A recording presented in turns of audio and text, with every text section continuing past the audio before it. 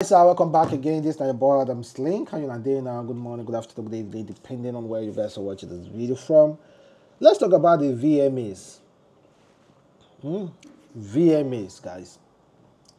Something really awkward happened recently, and uh, a lot of us who are pioneers, yes, I will call ourselves pioneers of Afrobeat, pioneers of Nigeria, Africa music. We are pioneers. We are those people uh, we had a long line of uh, uh, people, set of people who have kind of like, in a way, contributed to Afrobeat, talking about it and also hyping it up. So we are the pioneers. Somehow, somehow, you must not be a musician to be a pioneer when it comes to Afrobeat. Well, at the MTV MV, yeah, MTV VMAs 2024, the list of nominations are out. The MTV Music Video Music Award, the nominations are out. And when it comes to Afrobeat category, do you know the stars who are dominating Afrobeat category? Chris Brown and Usher. Chris Brown, Usher, and Tyler are the stars dominating Afrobeat category. Afrobeat category was meant for Nigeria, Africa. But because we are running away from it now, I've said it before, a time will come in the next coming years when you see Afrobeat category in any music nomination, you will see big, big stars first, America stars first, and you will not see a single Nigeria because we are abandoning our sound. And it all started from Burna Boy, started from Wizkid, and so many or, many other guys, uh, guys who don't want to be associated with Afrobeat. And again, since you guys are bringing Wizkid, uh, bringing Usher, and Chris Brown into Afrobeat, it is also great. You take Davido, Bona, Rema, Asake, Whiskey, and join them all to also into R&B, into uh, pop music, into other category in the white land.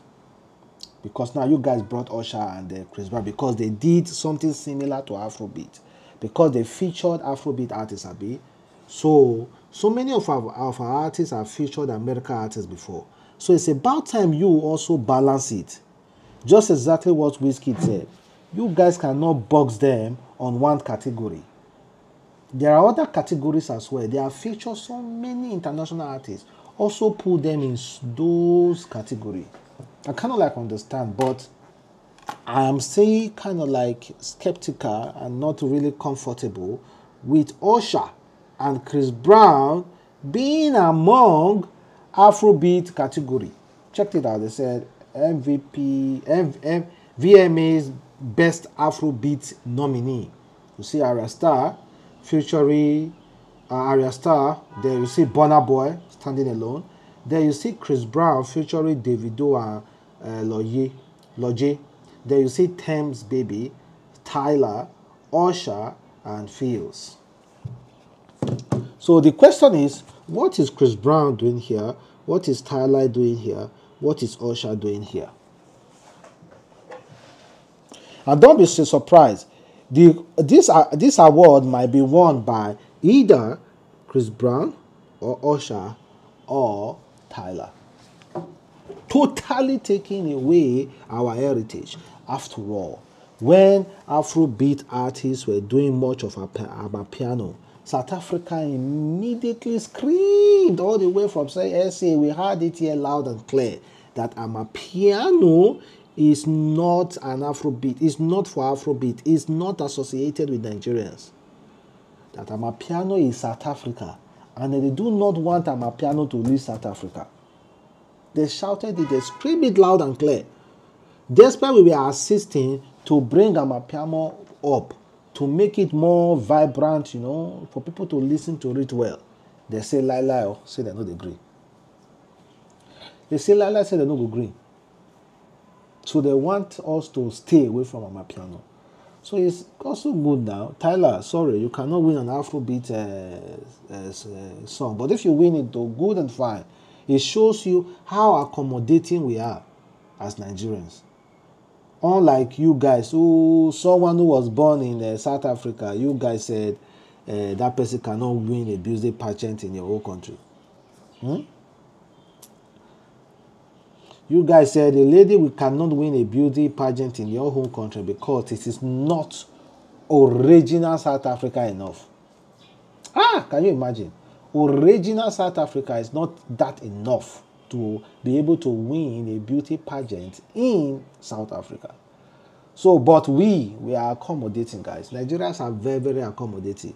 We are going to allow you guys to, of course, be among the category. We are not going to blast you. We are not going, but it is good we also we know the origin of afrobeat the origin of afrobeat it is good we know the origin so that we will not forget where it comes from so that there will be no issue about claiming afrobeat by other nationals we will not forget where it comes from where it, it actually originated from it is good not to forget we will not forget but it's all love, though, like I said before. It's all love. Nigerians are accommodating people. We can share. We can share. There's enough room. But I'm not just comfortable with it. I'm just share, saying it. It's not as if there's anything, anything can happen. Since you guys are nominating other international artists under Afrobeat, it is also right you nominate Nigeria artists all under your categories as well.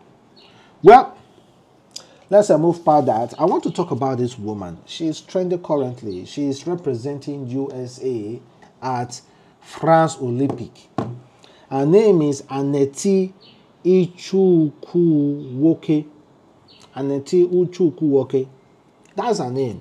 Ichukwuwoke, Igbo name. Annette, also somehow uh, Ijo, uh, kind of name. Aneti. Well, guess what?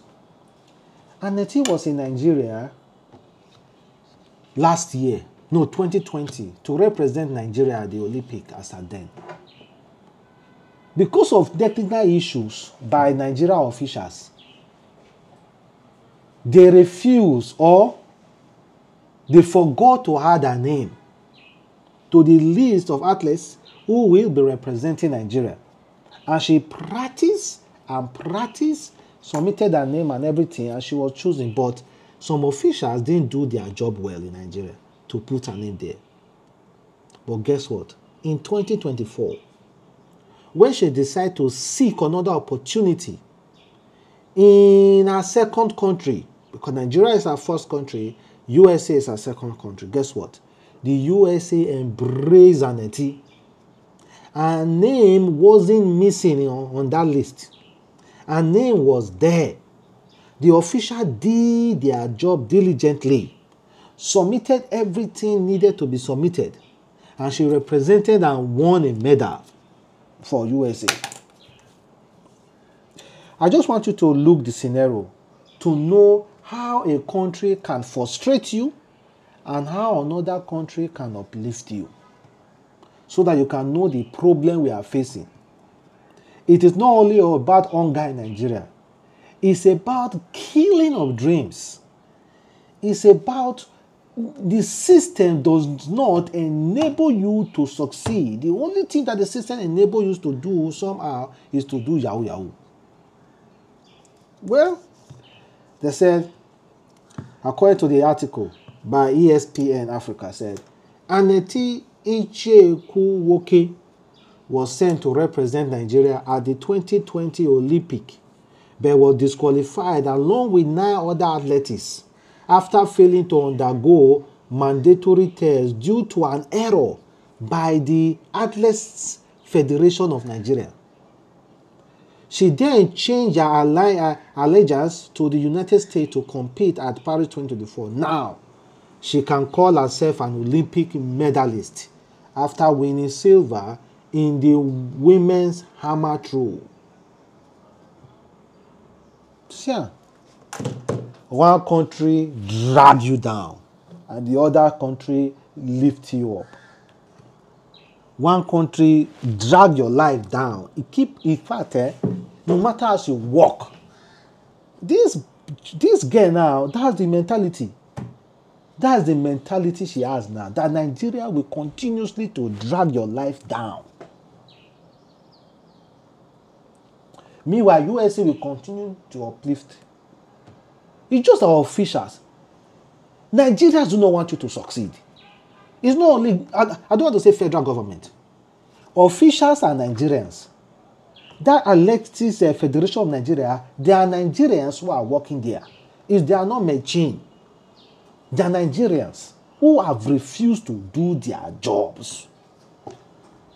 Our brother want to drag us down.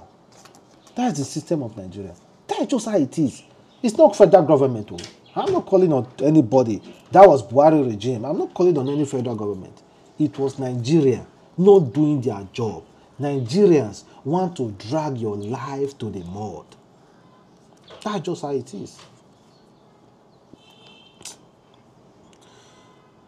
Don't allow bad country to stop you from realizing your the country that you are supposed to be. Hmm? Don't allow it. But I guys for watching the boy God. I'm Slay catch you next time. Peace.